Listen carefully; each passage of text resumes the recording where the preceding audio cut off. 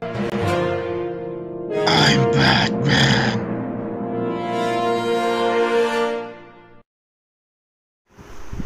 Hello ប្រូបងប្អូនស្វាគមន៍សាជាថ្មីមកកាន់វីដេអូថ្មីអូខេអ្នកនរគ្នាបន្ទាប់ពីធ្វើការ update គឺយើងទទួលបាននៅបញ្ចប់កីឡាករ Ronaldo មួយដែលជាកីឡាករ best player គឺហៅកាត់ថាកីឡាករ Zin តែម្ដងគឺខ្ញុំមានគាត់ហើយអញ្ចឹងខ្ញុំធ្វើការបើកតែម្ដងទៅកុំឲ្យចាំយូរអ្នកនរគ្នា គាត់ថាបាន feature មកគ្រាន់បើជាងអ្នកនរគ្នាហើយខ្ញុំទប់នឹងបើកបានគាត់ដែរឥឡូវមក Ronaldo មួយទៀតដែរបាទហ្នឹងហើយបាទมันជាបញ្ហាមានរ៉ូដូ2ក៏មិនអីដែរសំខាន់បាន3ទុកដូអូខេហើយហ្នឹងហើយអ្នកនរគ្នាយើងគឺយើងមានអឺ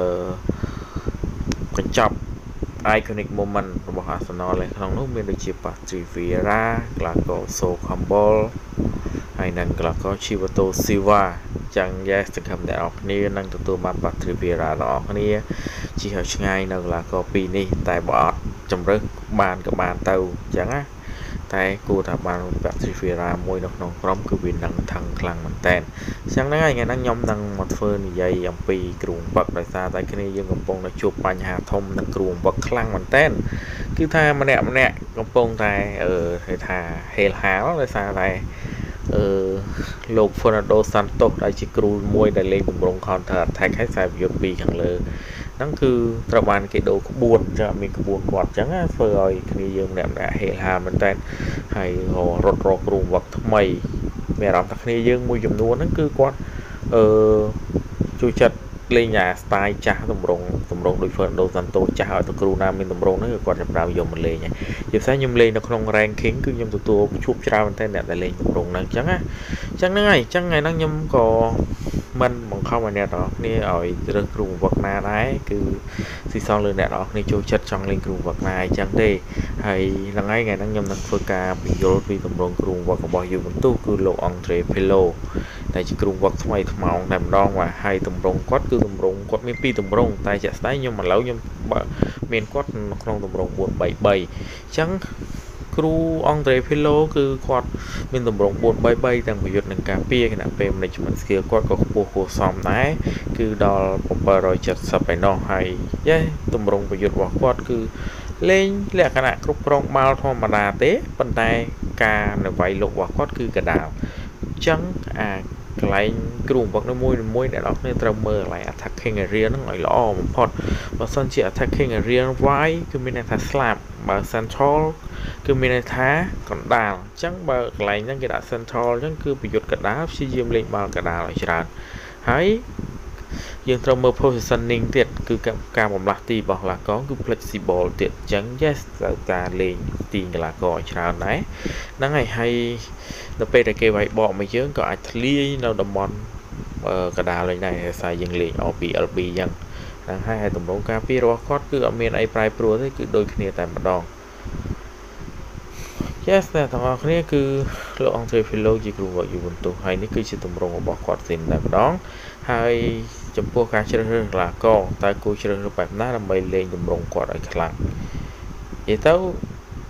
វាអាស្រ័យលើយើងទាំងអស់គ្នាអ្នកនរគ្នាការជ្រើសរើសកីឡាករគឺពេលខ្លះយើងត្រូវការលេងគាត់ដែរដើម្បីឲ្យបាន team spirit ខ្ពស់អញ្ចឹងមិនមែនថាកីឡាករណាក៏យើងដាក់បានតែខ្ញុំ recommend ដំបូងអ្នកនរគ្នាគួរតែប្រើ auto pick អីចឹងទៅ ប្រើ auto pick គាត់នឹងជ្រើសរើសកីឡាករដែលល្អបំផុតសម្រាប់ក្រុមគាត់តែម្ដង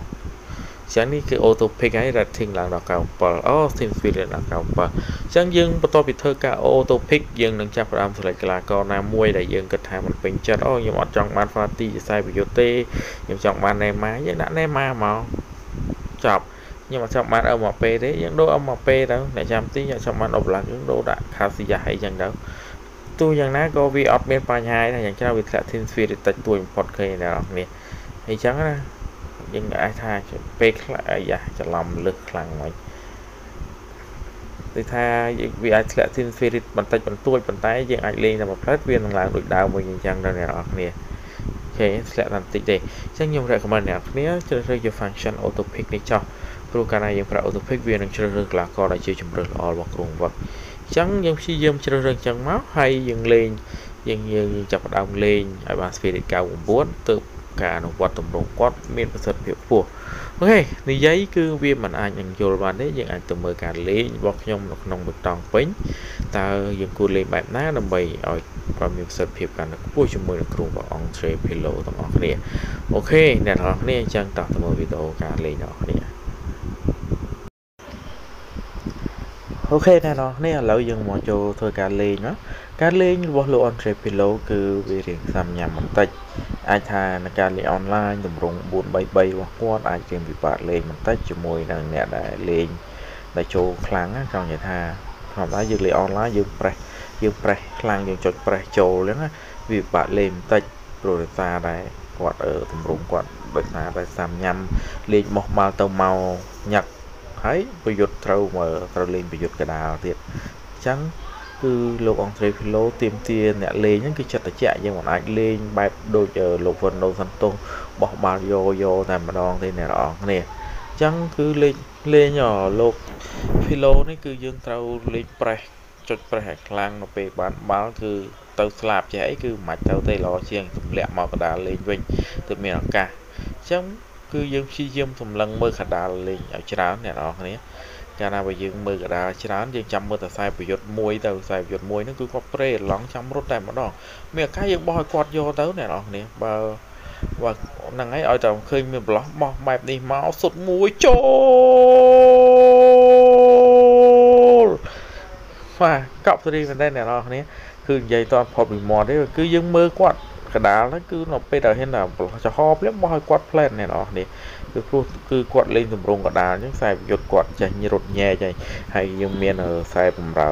ប្រយុទ្ធឆ្វេងស្ដាំយើងចេះឡើងទៅបញ្ឆោតខ្សែកាពីហើយអញ្ចឹងគឺយើងត្រូវលេងបែបហ្នឹងឯងអ្នកនរគ្នាចំពោះទម្រង់លេខទម្រង់របស់លោកអង់ដ្រេភីឡូអញ្ចឹងគឺ ខ្ញុំក៏រៀងពិបាកបញ្យល់ដែរព្រោះទម្រង់គាត់វារៀងសាំញ៉ាំមែនតើអឺសាំសាមញ្ញមែនតើគឺព្យាយាមលេងបោះបាល់តែខ្ញុំគ្រាន់តែមានល្បិចខ្លះប្រាប់អ្នកនរគ្នាគឺព្យាយាមលេងពីកណ្ដាលទៅឲ្យច្រើនកុំលេងបុកទៅស្លាប់បុកទៅស្លាប់បាល់ងាប់ទេអ្នកនរគ្នាយើងលេងមក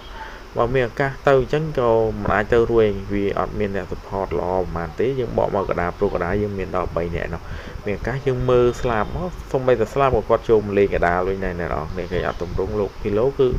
ចឹងឯងគឺប្រម៉ូផ្ដុំនៅកដាលអស់ហើយអញ្ចឹងមានឱកាសយើងមើលបាទទៅមួយទៀតដាច់ចកេះបាត់ហើយបាទ yes អញ្ចឹងយើងមានឱកាសយើងមើលទៅអ្នកនរគ្នាប៉ុន្តែតើតែយើងដៃលឿនដែរអ្នកនរគ្នាបើសិនជាយកគាត់លេងអនឡាញគឺតើតែយើងអសាលច្បាស់ សុទ្ធហើយនឹងច្បាស់ខ្សែប្រយុទ្ធបើយើងអត់ត្រូវច្បាស់ខ្សែប្រយុទ្ធទេក៏យើងលេងគាត់ពិបាកដែរអញ្ចឹងណាហើយហ្នឹងហើយលោក Philo គឺការលេងរបស់គាត់គឺមានតែប៉ុណ្្នឹងទេអ្នកនរគ្នាគឺអត់មានអីលើសលើសហ្នឹងទេខ្ញុំបន្ទាប់ពីបង្ហាញវីដេអូនេះខ្ញុំនឹងលក់គាត់ចេញដើម្បីចាំអត់នៅតម្រងគាត់មួយទៀតគាត់មានតម្រង2ហើយតម្រងមួយទៀតជាមួយខ្ញុំខ្ញុំខ្ញុំចាំនឹងយកលើកមកបញ្យល់នៅវីដេអូបន្តបន្តទៀតតែមើលចាំទិញគាត់សិន ខ្ញុំនឹងធ្វើគ្រូវឹកផ្សេងអាចជាគ្រូវឹកណាអ្នកនរគ្នាជួយខមមិនផងបើចង់ឃើញគ្រូវឹកណាបន្តទៀតខ្ញុំនឹងព្យាយាមអស់ពីសមត្ថភាពបញ្យល់អ្នកនរគ្នាឲ្យតាមអាចធ្វើបានអូខេធ្វើការ shout out មុននឹងចប់វីដេអូអូខេអ្នកនរនេះចឹងការ shout out ថ្ងៃនេះគឺបានទៅលើប្រុសរង 46k PT តែគាត់បាន comment មុនគេអ្នកនរនេះហើយអរគុណច្រើនមែនទេប្រូដែលបាន comment មុនគេហើយក៏អរគុណច្រើនដល់អ្នកនរនេះដែលតែងតែ